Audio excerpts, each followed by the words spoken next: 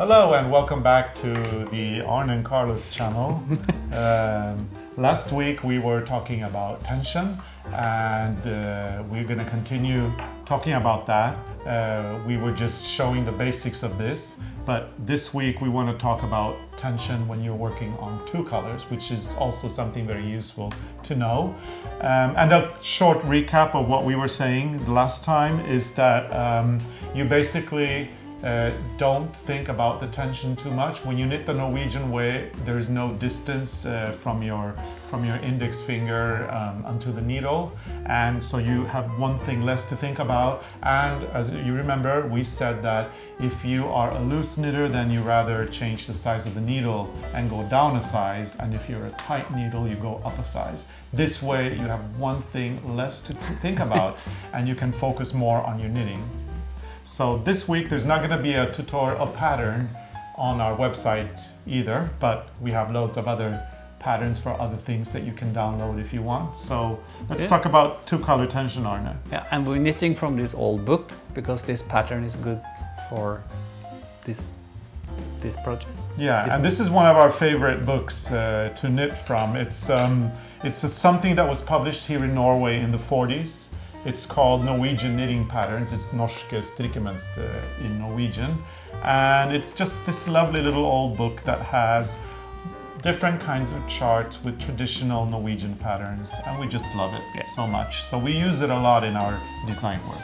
Then I will show you how to knit with two colors. The color I use the most is always on the finger and the other color I pick up when I need it. So now I'm going to do two red stitches.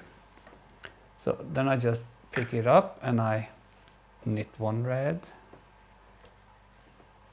and another red. So when I do this, I, I knit like the English way. I can show you one more. So I just keep the yarn on this side and I pick it up when I need it. Then you can also pull the yarn and you can control your tension because you want all the stitches in your knitting to look the same. Then I let, when I go to the gray, I let the red yarn just be hanging there and then I knit the two gray from my finger. Now you can also put the red yarn on the finger and knit from the finger while you knit with the red yarn. Then you can throw the gray when you need it or you can put it back on your finger. So when we knit the Norwegian way, the yarn is always going from the finger and mm. Away from the finger. You can just do whatever you want, what what feel feels best for you. Sometimes it's quicker to have the yarn on the finger and sometimes not. So like in now, now I pick up the red and I cast it on like the English way and then I keep the yarn on this on the right right side and then I pick from the left side like this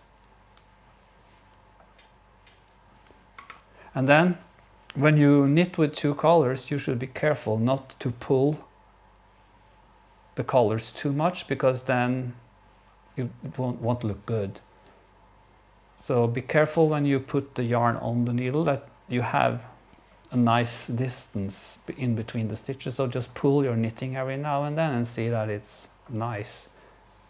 If you knit uh, like uh, a piece of knit with two colors and another piece with one color and you don't have the same tension, the part with two colors will be more will be tighter and that can be a problem. So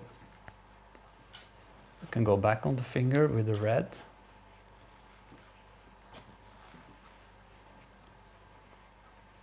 And when I need the gray, the gray go on the finger and you knit the gray. So there's- the colors can actually change place. Makes no difference. And in Norwegian knitting, we don't have what they call the dominant color. Because if we get the dominant color in the knit knitting, then the tension is bad. Mhm. That's how we That's do it. it. That's how we do the Norwegian knitting with two colors, and that's how we tension the the, the yarn. Yeah. So um, And all the stitches in every color should look the same. yeah. So Okay. please, please uh, Practice. So- yes, now it's time to practice and make sure that uh, you learn to do it this way. And I'm sure that you'll get a lot of, we're sure that you'll get a lot of enjoyment out of this. So um, if you're new to this channel, please don't forget to subscribe. And uh, we look forward to bringing new tutorials uh, to you every week. Then we show you how to solve another problem next time. Yep, we will. Bye. Bye.